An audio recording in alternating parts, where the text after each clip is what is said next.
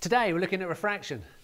And here's some examples in front of us. Here's a convex lens, making the light bend inwards. And here's a concave lens, making the light bend outwards or make it refract. And other objects can also be used, like a prism. This is a lot more complicated. There's a lot going on here. Or this block of glass with a curve on it. These are all examples of refraction, which is the light bending and changing direction. And it can even be shown with a slab of glass. English glass, no less, if I can get into here. And we can put that onto here. And if we change this down to a single beam, then what we can do is we can actually measure refraction. So today, we're going to find out why refraction occurs, and we're going to measure it. There we go. So the ray of light goes straight through, but when we put the block of glass down there, the light changes direction. The light refracts and bends and comes out in a different location. And this is what we're going to look at, explain and understand in today's lesson. We've just seen refraction in the lab. This is where the light hits a glass block or a prism or a lens and it changes direction. So refraction is when light changes direction or it bends. That's easy to see. The next question is why does it do that? And the answer is simple. It's because the light slows down and as it slows down it changes direction. But it doesn't slow down evenly. It slows down more on one side than on the other. And this uneven slowing process causes the light to bend. We can see it with a kayak. If someone's out kayaking and they're paddling in a straight line, when they want to change direction, they jab the paddle in the water. When it goes on this side, there's more drag. The kayak's going slower on this side and it slews in that direction, whether it goes left or right. And you can see it with a tracked vehicle. When a tracked vehicle is going along, the brakes are applied to one side. This slows the tracks and the vehicle will slew in that direction. And we can even see it with skis. If someone's skiing in a straight line, they can hold their ski pole in the snow and this drag will cause them to change direction. Light does this with refraction. The light slows unevenly and this uneven slowing process causes the light to bend or refract. What's happening with refraction? Well, this line here separates air from glass. The ray of light is coming in like this. And as it strikes the glass here, this side of the beam slows down. May only get that far. The other side of the beam is still in the air and it gets to here because it hasn't slowed down so much. And now our beam of light is moving in this direction. And originally it was moving in that direction. So our beam of light has come in and it bends and it changes direction there due to the uneven slowing process. It slows down more on this side than on the other, and that's refraction. And that's what we're measuring today. The next thing is angles. We need to know how to measure angles, and we need to know how to use one of these. So, let's run through this, and we'll get the angles all sorted out. We need to use a protractor, and we're going to measure these three angles. One, two, and three. Okay, let's get our protractor. Here it is. And we need to place the bottom line of the protractor onto the red line at the base of the page here. And this intersection needs to be on that point there. Okay, so we need to line our protractor up with this point here. Here we go. The first angle is 10, 20, 30, 40, 50, plus we go to the outside scale and we add another 5, 55. That's our first angle. The second angle is further round, and that one is just over 80. In fact, it's 81. That's 81 degrees. Now the third angle, it's gone past the 90, right round here. We're still on the inside scale though, so it's 120 plus, looking on the outside scale, another 5. This outside angle is 125, and that's how we use the protractor.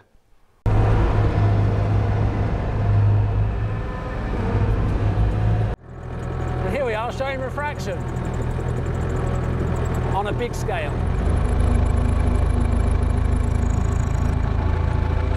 Objects change direction using different methods. We don't always need to use the steering wheel. As we saw with Jules and her kayak, she used the paddle. Here in Bruce's vehicle, we can change direction by actually speeding up and slowing down the sides of the vehicle. These levers control the movement of the vehicle. And this is a similar idea to light. When the light's refracting, it slows down on one side and that causes the light to change direction. And it's the same here with Bruce's vehicle. When we want to change direction, we slow it down on one side. If you imagine the ray of light striking the glass now, and it slows down on that side, then once again, it changes direction. Before we measure refraction, let's take a quick look at it. And here we've got some nice cloudy water. And we can see the laser beam going through the water really clearly there, but we can't see it in the air. So we need to make the air stand out a bit. So we can use some of this stuff. Brilliant, this is. And uh, we spray a bit of that in there, and instantly we can see the laser. I smell great too. But there's our laser, and it shows up really nicely. A little bit of reflection off the surface, but there's the refraction. It hits the water, bang, it bends. We don't need to use that. We can use dust. So a little bit of dust, and there we go. All these dust particles and aerosol particles act like miniature moons and they reflect the light so we can see the path of the laser beam. And there it goes once again into the water. The water's all cloudy so we can see it really clearly and there's refraction. Fantastic, eh? And we can use smoke. Similar thing. As you know, smoke's a colloid. So it's got solid particles in it. And we make a little bit of smoke and once we get the smoke, we'll also see the laser beam as it travels through the smoke. Okay. Oh, and that must be uh, the extras getting restless in the background. Settle down, you extras, settle down. And there we have refraction, working pretty nicely. And what we've just seen with the green laser is the light going through the air into the water. And we're changing the medium. We're going from air into water, and therefore we're changing the speed. And with this change in speed comes a change in direction. And that change of direction is called refraction. And that's what we've shown here, and that's what we're going to measure now using a glass block. Ah, the next thing is collecting the data. Ah, okay, the next thing is collecting the data. And uh, what we need to do here is to draw an outline of where our glass block is going to go. So there's our outline, and we're going to put a normal line onto it. What is a normal? In physics, we need to use technical words sometimes. And some of these words we use in everyday language, but they change their meaning in physics. One of these words is normal. When we have a normal line, it means one line strikes the other one at right angles. If we had one line here and a second line coming in at right angles, then this line here is normal to this line. So when they strike at right angles or 90 degrees or a perpendicular, then one line is normal to the other and we call this line the normal.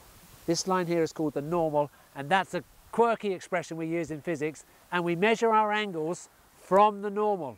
And there's a reason we do that, but I'm not going to tell you what that reason is. You just need to know it.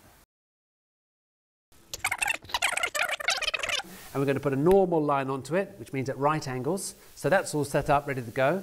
Our beam of light is going to go in here and strike at the normal. We take our glass block and we just place it on top there. Okay, so our ray of light is no longer going straight through, it's refracting. It's bending towards the normal as it goes into the glass block. This is where our ray of light is entering. Here is our angle of incidence. And then our light's going to go in, so we can mark it with a, a fine dot. We should use a, a pencil or a pin. A pin will give a really good dot. Over here is where the light comes out. We can put a little mark there. And then we remove our glass block and we can connect these lines up. This line here is our incident ray. That's the light going in there. and then it bends and it leaves over there. So it goes at that point. Our normal should be extended into the glass, so it should have been like that to start with, but we can make an adjustment. And there's our normal. So we've got the angle of incidence and the angle of refraction, and that's for our first angle. Now we can change that. We can put our glass block back here. We can send in our ray of light again into the same place. Everything's lined up. I'm going to use a red pen so it shows up. There's the light going in, and this time it comes out here. Oops, that's messed it up. Never mind. And this time, there's our angle of incidence, and there's our angle of refraction. And the last one, we line the whole lot up again. There's our glass block. We're going to send our ray of light in here, straight into the normal. That's where it's going in, and it's coming out there.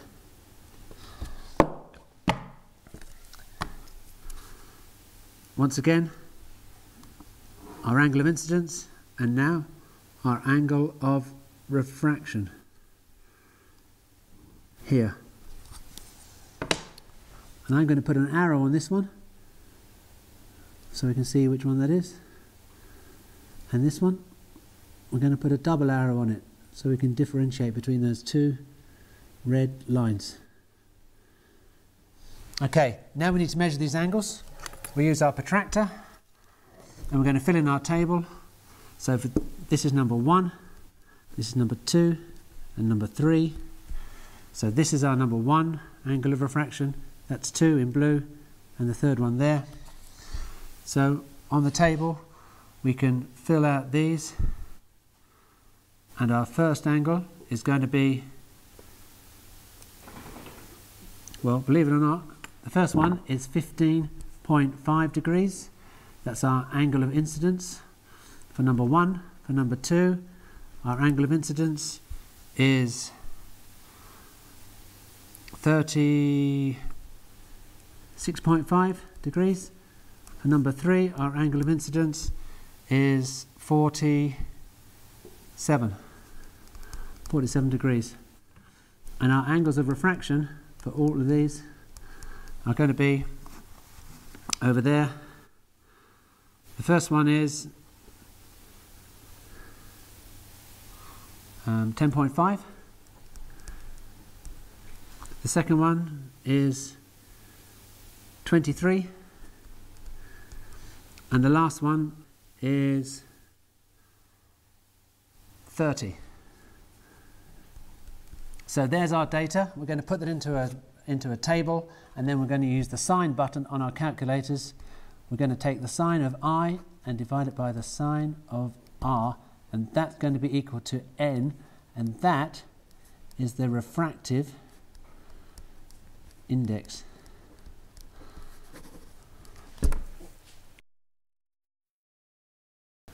Here's our data. What we're going to do now is put all of this into a table. So we move that over there. Blank bit of paper, makes a change. So, one, two, three lines. We've got our three angles of incidence and our three angles of refraction.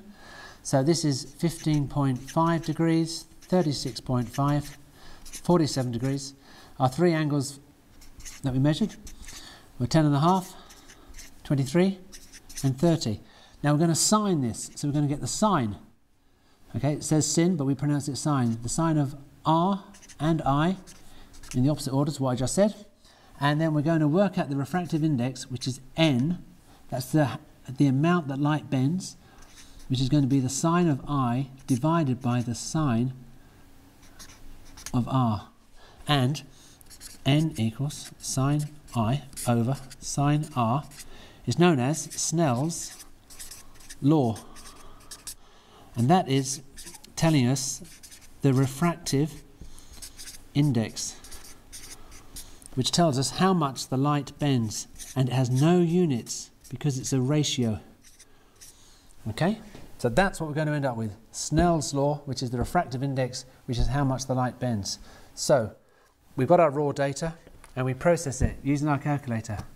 So here we go.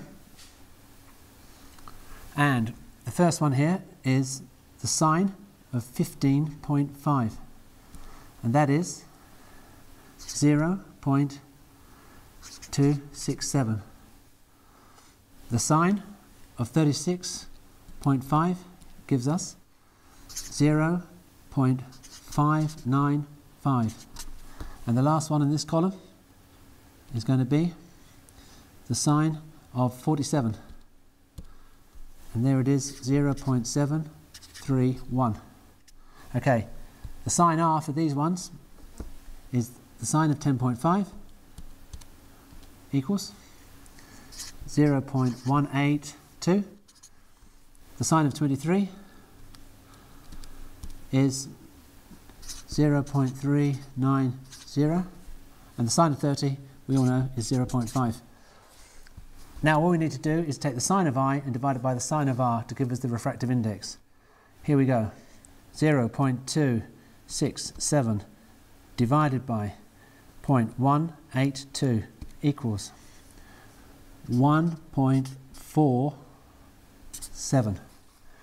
Second one, 0.595 divided by 0.39 equals 1.53. And the last one is going to be 1.46. So we can add those up and divide them by 3 to get an average. And some of you have probably already done that, but we're going to just check it with a calculator. 1.47 plus 1.53 and 1.46 equals divide it by 3 gives us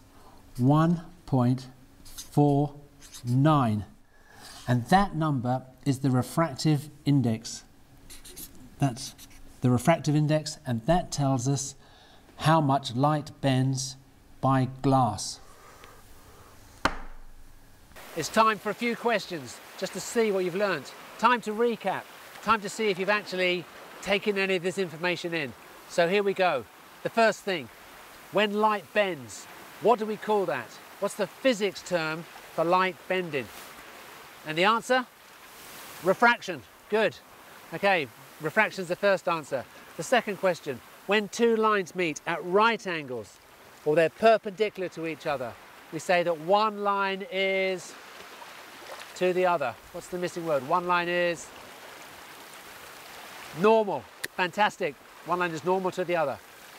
When a ray of light goes into a block, it makes an angle with the normal. What's the angle called? Known as the angle of incidence. Fantastic. And inside, as this ray of light bends towards the normal, then this is known as the what ray. What ray do we call that inside? It's the refracted ray. Fantastic. A couple more. Uh, what letter do we use to denote the refractive index? What letter do we use for that? The letter N. Well done. And when we take the sine of I and divide it by the sine of R, that gives us a number which has no units because it's a ratio. It gives us that number, and this is called the refractive index. Well done, the refractive index of the material. And this is, whose law? Who figured this out? Whose law is it? Answer? Snell's law. Well done. Okay, that's a quick recap. Hopefully you've learned all those things. And more importantly, hopefully you understand why refraction occurs. I'm a man on a mission.